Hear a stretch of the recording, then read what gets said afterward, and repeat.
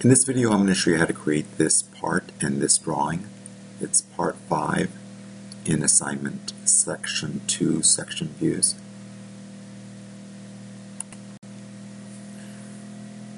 I'm going to start out by creating a new part.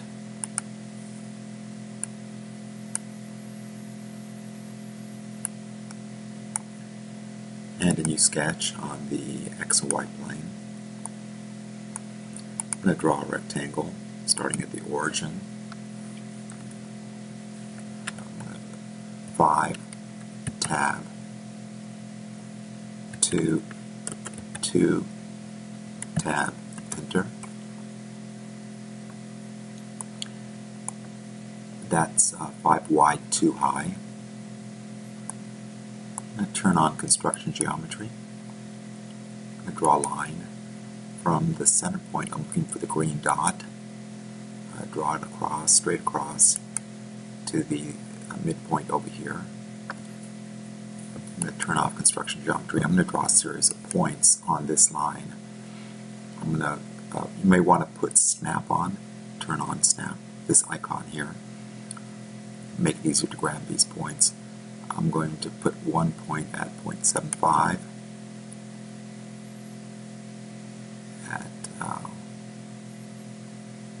1.75.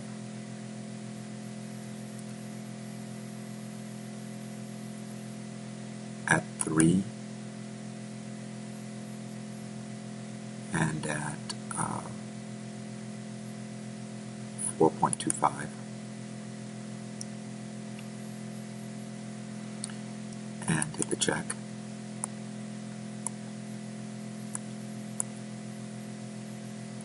I'm going to extrude out um, a distance of 3 but I'm going to go in the opposite direction because I want the sketch in the front and uh, hit OK. I'm going to come in here to this extrusion. I'm going to turn the sketch on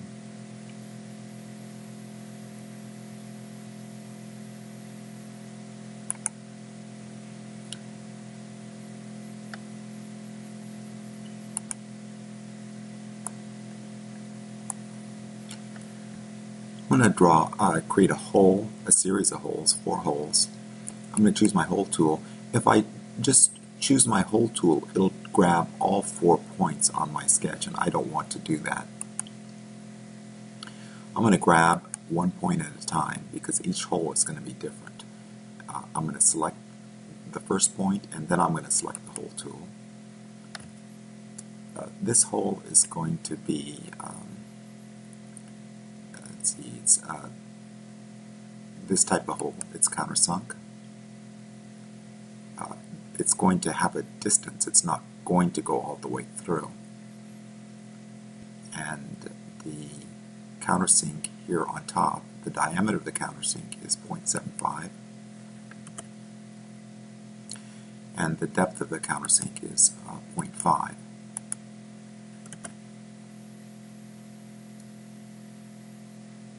the diameter of the hole itself is uh, 0.5 and the depth of the hole is uh, 2 inches. So your numbers should look like that, 0.75, 0.5, 2, and 0.5. This should be distance, and this should be this simple hole.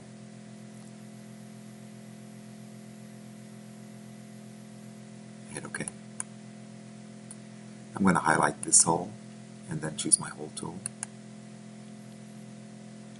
This is going to be a, a hole, this one here. And the, uh, the diameter here up on top is uh, one inch. The angle is 82 degrees. The hole is half inch and this is going to go through through all. So it should look like this, 182.5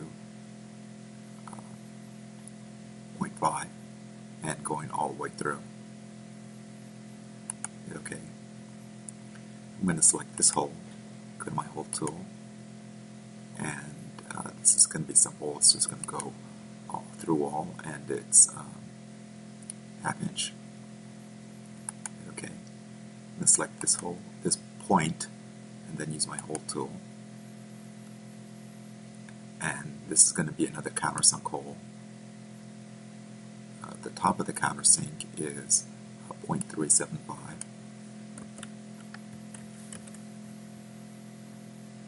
The depth is uh, 0.25. Uh, this does not go all the way through. Specify a distance, and that distance is uh, 1. And the diameter is uh, 0.25. So your settings should look like this, 0.375, 0.25. 1 and 0.25. Hit OK.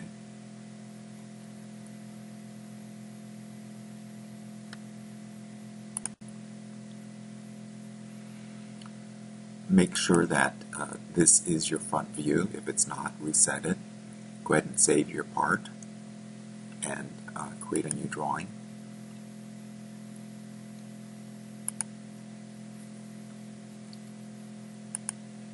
A base view of front.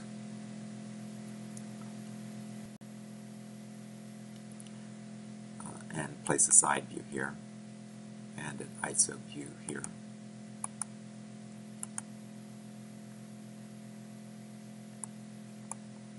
I'm going to go to Annotate and choose my center tools, center line uh, crosshair tool.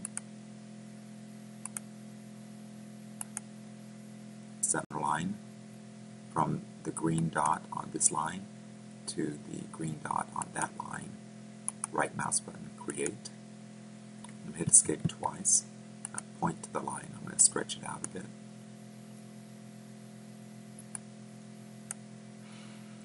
I'm going to create a new, place a new view, and that's going to be a section view.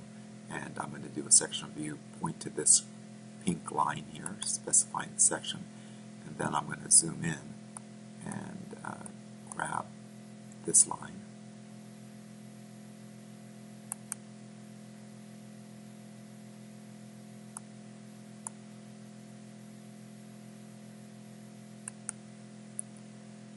Right, create. Now I'm section view up here.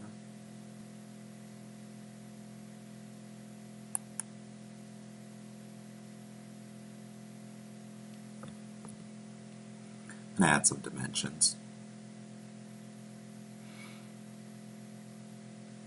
Go to annotate, dimension. Let's specify this depth here, this depth here and let's uh, dimension the, the location of these holes.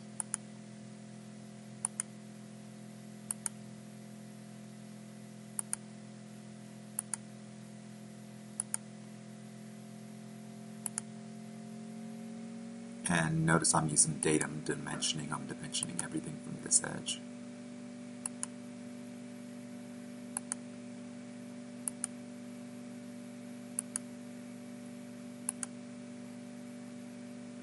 Now, typically I would ask you to put these dimensions in between the views, but in this case I'm going to add, uh, I'm going to annotate the holes and hit escape twice and grab this view and move it up a little bit. So I'm going to uh, use my hole tool, my hole and thread tool. I'll point to this and um, place it about right there.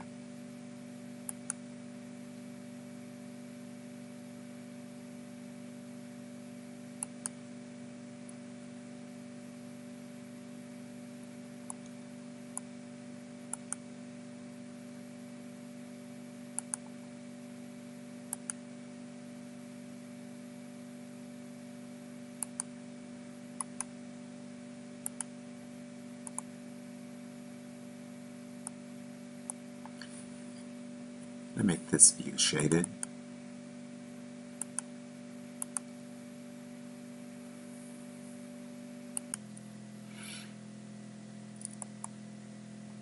Here's one last dimension. I'm going to move this uh, view out of the way, move this dimension. out a bit. And then I'm going to uh, add this one dimension from here to the center line here.